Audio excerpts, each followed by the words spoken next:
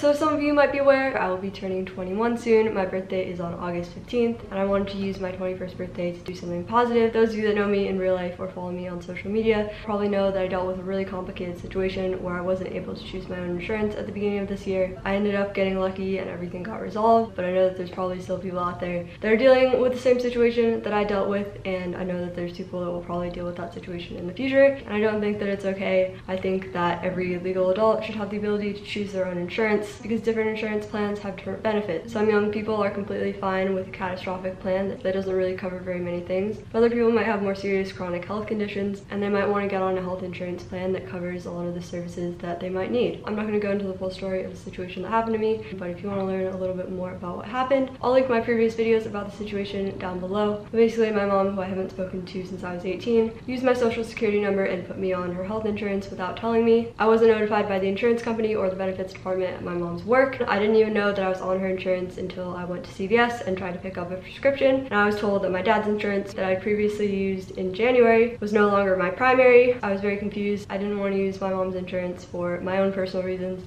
So I just left the pharmacy empty handed and I called the insurance company and I spoke to multiple customer service people there and they said that there was nothing that I could do. Then I contacted the benefits department at my mom's work and they also said they couldn't take me off my mom's insurance because open enrollment had ended. At that point, I was dealing with a pretty bad allergic reaction on my hand. So I just went to a clinic and paid for an appointment and paid for a prescription. So for a little while, I was just paying for everything out of pocket because I didn't really know what to do. And then eventually I made a video about the situation and I tweeted it to my representatives and Evan Low reached out to me and with the help of some people at his district office, I was able to file an expedited complaint with the Department of Insurance. Then I waited a few weeks and I got a letter from them saying that my complaint was being forwarded to the Department of Employee Benefits Security Administration. Then I waited another few weeks and I got a response from them and they told me that my request to be removed from my mom's insurance had been denied. Everyone that was helping me at Evan Low's district office really tried to solve this for me and they really tried to explain my situation to these different departments but apparently the people at the Department of Insurance and Department of Employee Benefits Security cared more about following the rules than my own health and rights. So after I'd been denied by the only two California departments that could have probably helped me, after that I didn't really know what to do because the only thing I could think of was to go to court. I'm just a college student so I don't exactly have money for a lawyer. So after that I got a member of the press involved and they contacted my mom's work and United Healthcare on my behalf. And once again, they said that they couldn't do anything. They were in contact with my mom's work for quite a few weeks, and they eventually said that my mom didn't work at that company anymore. So at that point, I realized that I might not be on my mom's health insurance anymore. So I called the insurance company and I confirmed that with them. And I was able to get on my dad's Aetna plan, and I was finally able to make an appointment at an allergy clinic. And I'll be going there for an allergy test on July 19th. So everything kind of ended up working out for me. But this was honestly one of the most stressful and complicated situations that I've ever had to deal with in my adult life. I was going to school and going to work while all of this was happening. And it honestly really took a toll on me. I've had to deal with a lot of complicated situations in the past, but I was under the impression that these sorts of things wouldn't happen to me when I was a legal adult. Everyone at the district office and my friends and family